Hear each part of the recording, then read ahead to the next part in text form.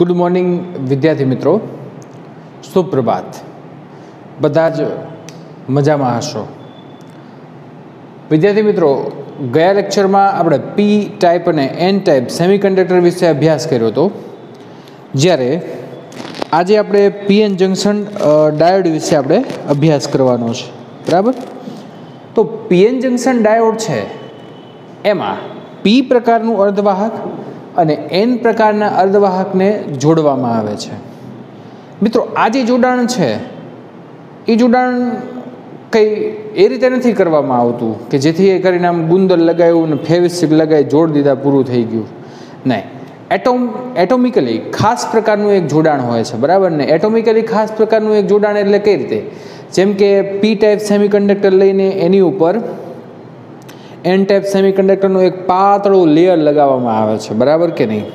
અથવા તો પી ટાઈપ સેમિકન્ડક્ટરનું એક વેફર લઈને એની ઉપર એન ટાઈપ સેમિકન્ડક્ટર છે, એ બાષ્પ સ્વરૂપે એની ઉપર એનું લેયર લગાડવામાં આવે છે. બરાબર ને? એટલે બે ત્રણ રીતે આપણે આ પી એન પ્રકારનું પીએન જંકશન ડાયોડ છે, એ બનાવી શકીએ. ટૂંકમાં પી અને એન જ્યાં જોડાય અને એની વચ્ચે જે જંકશન બને, એ જંકશનને આપણે શું કહીશું? પીએન જંકશન ડાયોડ તો મિત્રો, આપણો નેક્સ્ટ જે ટોપિક છે, એ ટોપિકનું નામ PN junction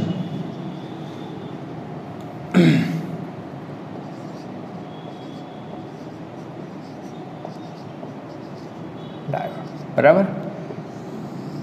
PN junction diode છે, એ પી અને એન પ્રકારના અર્ધવાહક.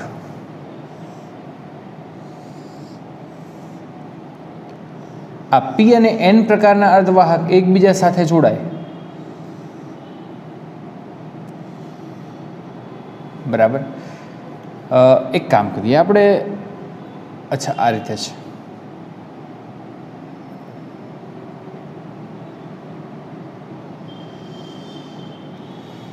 પી પ્રકારના અર્ધવાહકમાં મેજોરિટી ચાર્જ કેરે તરીકે હોલ હોય છે અને માઇનોરિટી ચાર્જ કેરિયર તરીકે ઇલેક્ટ્રોન હોય છે. ઓકે આ પી પ્રકારનું અર્ધવાહક. એન પ્રકારના અર્ધવાહકમાં મેજોરિટી ચાર્જ કેરિયર તરીકે ઇલેક્ટ્રોન હોય માઇનોરિટી ચાર્જ કેરિયર તરીકે હોલ હશે. જ્યારે આ બંનેને જોડવામાં આવે, ત્યારે આપણે એવું કહી શકીએ કે આ ઇલેક્ટ્રોન અને હોલ આ ઇલેક્ટ્રોન છે, એની પાસે થોડી ઘણી ઊર્જા હોય, તો આ હોલ સાથે સંયોજાશે અને ઇલેક્ટ્રોન અને હોલ એકબીજા સાથે સંયોજાય, મિત્રો. ત્યારે એ પોતે પરમાણુની રચના કરે છે. પોતે શું રચે છે? એક પરમાણુ રચે છે. અને બીજી વસ્તુ કે આને આપણે બીજા અર્થમાં એમ પણ કહી શકીએ કે અહીં હોલ અને ઇલેક્ટ્રોનનું ડિફ્યુઝન થયું છે. અહીં હોલ અને ઇલેક્ટ્રોનનું શું થાય છે? ડિફ્યુઝન થાય છે. તેથી અહીં, અહીંયા જે પ્રવાહ રચાશે, તેથી અહીં રચાતો પ્રવાહ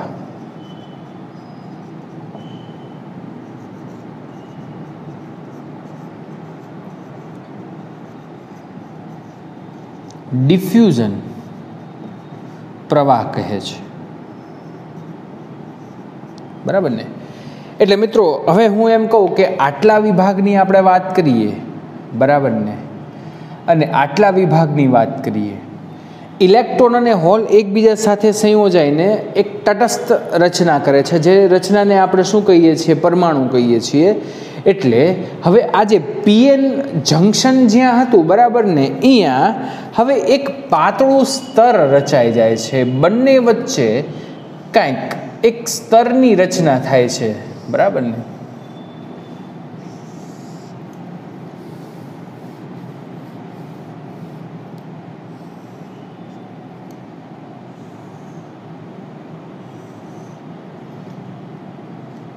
અહીંયા મેજોરિટી ચાર્જ કરે તરીકે હોલ. માઇનોરિટી ચાર્જ કરે તરીકે ઇલેક્ટ્રોન બરાબર? અહીંયા મેજોરિટી ચાર્જ કરે તરીકે ઇલેક્ટ્રોન અને માઇનોરિટી ચાર્જ કરે તરીકે કોણ હોય છે? હોલ હોય છે. અને આ બંને ઇલેક્ટ્રોન એકબીજા સાથે સંયોજાઈને અહીંયા જે એક નાનું સ્તર બનાવે છે કે જ્યાં તટસ્થીકરણની પ્રક્રિયા દ્વારા ઇલેક્ટ્રોન અને હોલનું શું થાય છે? ડિફ્યુઝન થાય છે. એટલે મિત્રો, આ જે સ્તર રચાય છે ને એ સ્તરને કહેવામાં આવે છે ડેપ્લિશન લેયર. ડેપ્લેશન કહેવાય, ડેપ્લિશન કહેવાય, લેયર એટલે એને ગુજરાતીમાં આપણે સ્તર કહેશું. તો ડેપ્લેશન સ્તરની રચના થાય છે. હવે મિત્રો તમે મને એમ કહો, અહીંથી ઇલેક્ટ્રોન છે એ આની સાથે સંયોજાય, બરાબર ને? ઇલેક્ટ્રોન છે એ હોલ સાથે સંયોજાય. તો અહીંથી ઇલેક્ટ્રોન ગયો, તો અહીંયા શું ઉદ્ભવે? ધન વિદ્યુત ભાર. બરાબર કે નહીં? અહીંયા શું ઉદ્ભવશે? ધન વિદ્યુત ભાર. હવે આ ઇલેક્ટ્રોન અહીંયા હોલને ભરી દે છે, બરાબર ને? હોલ સાથે સંયોજાય. તો અહીંયા શું ઉદ્ભવે? ઋણ વિદ્યુત ભાર. બરાબર કે નહીં? અને આપણને ખબર છે કે બંને વચ્ચે કંઈક પોટેન્શિયલ ડિફરન્સ એટલે કે બંને વચ્ચે વિદ્યુત સ્થિતિમાનનો તફાવત ઉદ્ભવશે એટલે હું એમ કહું કે આ અંતર ડી છે, વિદ્યુત ક્ષેત્ર ઈ છે, તો એની અંદર જે પોટેન્શિયલ ડિફરન્સ એટલે કે વિદ્યુત સ્થિતિમાનનો તફાવત વી ઇઝ ઇક્વલ ટુ શું થાય છે? ઈડી થઈ જાય. બરાબર ને? વિદ્યુત સ્થિતિમાનનો તફાવત V is equal to ED એટલે બંને વચ્ચે કંઈક પોટેન્શિયલ ડિફરન્સ ઉદ્ભવે છે.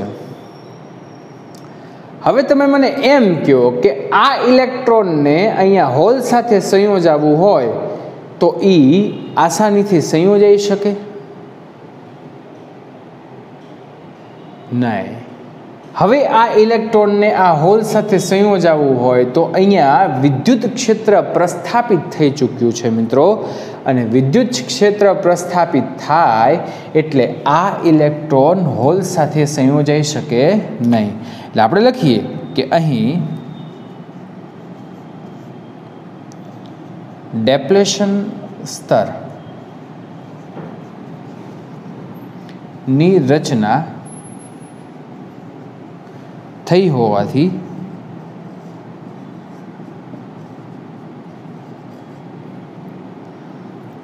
ઇલેક્ટ્રોન પાસે પૂરતી ઊર્જા હોતી નથી. બરાબર ને? અહીં ડેપ્રેશન સ્તરની રચના થઈ હોવાથી ઇલેક્ટ્રોન પાસે પૂરતી ઊર્જા હોતી નથી. કે ઇલેક્ટ્રોન આ હોલ સાથે સંયોજાઈ શકે. એટલે આ ડેપ્લેશન સ્તર એટલે હું તમને એમ કહું ને, આપણે ખ્યાલ હોય તો મેં તમને આ આપણે કન્ડક્શન બેન્ડ અને વેલેન્સ બેન્ડની આપણે વાત કરી, બરાબર ને?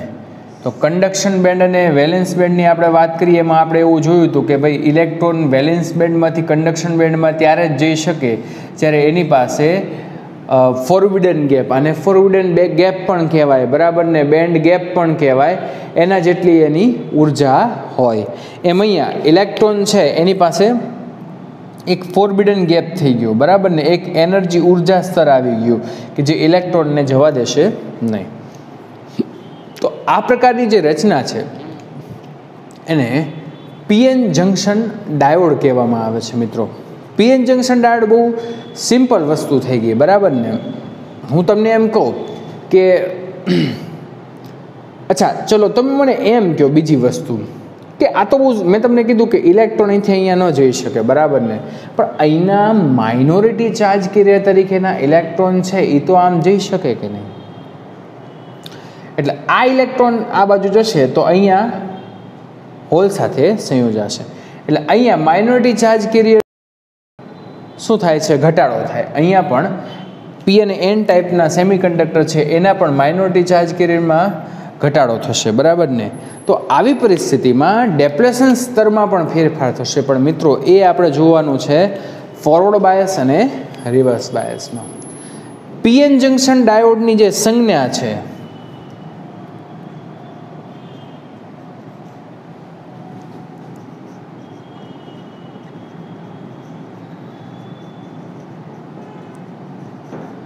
ડાયોડની સંજ્ઞા. એ સંજ્ઞા આ રીતે છે, એક તીરની નિશાની અને આ રીતે.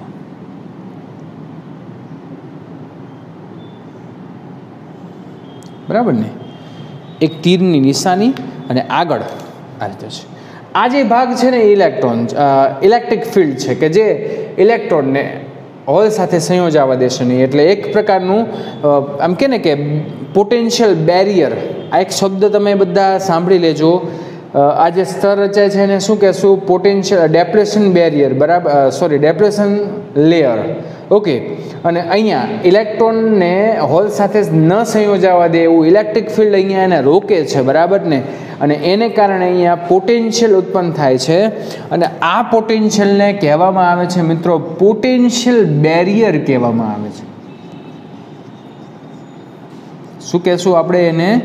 પોટેન્શિયલ બેરિયર કહેશું. બરાબર કે નહીં, મિત્રો? તો બહુ સિમ્પલ વસ્તુ થઈ ગઈ. હવે આખી વસ્તુની હું તમને થોડું રિવિઝન કરાવી દઉં. બરાબર ને? પી જંક્શન ડાયોડ તૈયાર કઈ રીતે થાય? તો પી અને એન પ્રકારના અર્ધવાહક એકબીજા સાથે જોડાયેલા હોય, ત્યારે જે જંક્શન રચાય છે, એ જંક્શનને પી એન જંક્શન કહેવામાં આવે છે. અને આ આખી રચનાને આપણે શું કહેશું? ડાયોડ કહેશું.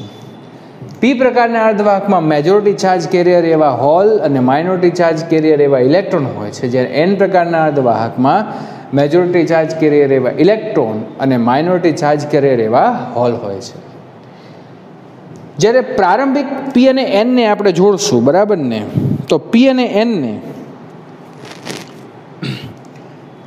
પી અને એનને આપણે જોડીએ, ત્યારે આ ઇલેક્ટ્રોન છે, એની પાસે એટલી તો ઊર્જા હોય કે જે શું કરે છે કે એન સાથે હોલ સાથે સંયોજાય છે અને પોતે ડિફ્યુઝન કરંટની રચના કરે. હવે અહીંથી ઇલેક્ટ્રોન ખાલી થઈ ગયા, અહીંથી હોલ ખાલી થઈ ગયા એટલે એક સ્તરની રચના થાય છે. આ સ્તરના નજીકના વિસ્તારમાં જોશો ને, તો એન પ્રકારના અર્ધવાહકમાં અહીંયા બધા હોલ હોય છે. પી પ્રકારના અર્ધવાહકમાં અહીંયા શું હોય છે? ઇલેક્ટ્રોન હોય છે, જેને ડિફ્યુઝન ચાર્જ કહેવામાં આવે. જેને આપણે શું કહેશું? Diffusion charge. ઓકે તો અહીંયા એક લેયરની રચના થાય છે જેને ડેપ્લિશન લેયર કહેવામાં આવે છે. અને એને કારણે અહીંયા ઇલેક્ટ્રિક ફિલ્ડ ઉત્પન્ન થાય છે. આ ઇલેક્ટ્રિક ફિલ્ડ શું કામ કરે છે? તો ઇલેક્ટ્રોનને હોલ સાથે સંયોજાવા દેતું નથી, કારણ કે એનો વિરોધ કરે છે. એને કારણે અહીંયા પોટેન્શિયલ ડિફરન્સ ઉત્પન્ન થાય છે. આ પોટેન્શિયલ ડિફરન્સને પોટેન્શિયલ બેરિયર કહેવામાં આવે છે. આને શું કહેવામાં આવે છે? પોટેન્શિયલ બેરિયર જો ને એટલે જ અહીંયા પોટેન્શિયલ બેરિયરની એક નિશાન છે આમ એક દિવાલ ઊભી કરી નાખી, જેથી કરીને ઇલેક્ટ્રોન છે હોલ સાથે સંયોજાય નહીં. બરાબર ને? કારણ કે એની ઊર્જા પૂરતી હોતી નથી. જે ઇલેક્ટ્રોનની ઊર્જા પૂરતી હોય છે થોડા ઘણા અંશમાં સંયોજાઈ શકે. બરાબર ને? એટલે જ અહીંયા આપણે શું કર્યું છે? એક ડિફ્યુઝન ચાર્જ અહીંયા લગાડી દીધો છે. એટલે હંમેશા પી પ્રકારનું અર્ધવાહક હોય ને તો ડેપ્લેશન સ્તરની નજીક કોણ હોય છે? ઇલેક્ટ્રોન. અને એનની નજીક કોણ હોય છે? પ્લસ. ઓકે મિત્રો, આ એની સંજ્ઞા યાદ રાખવાની છે. સંજ્ઞા, ઓકે. આ પીએન જંક્શન ડાયોડની સંજ્ઞા છે. તો મિત્રો નેક્સ્ટ ટાઈમ આપણે રિવર્સ બાયસ અને ફોરવર્ડ બાયસ કરંટનો આપણે અભ્યાસ કરશું. પીએન જંક્શન ડાયોડની રચના છે એ એક વખત વાંચી જવાની છે. ઓકે. અને હું તમને અસાઇનમેન્ટ અહીંથી એક ફોરવર્ડ કરીશ. એ અસાઇનમેન્ટ તમારે સોલ્વ કરવાનું છે. Okay thank you very much next time આપણે આગળ વધશું.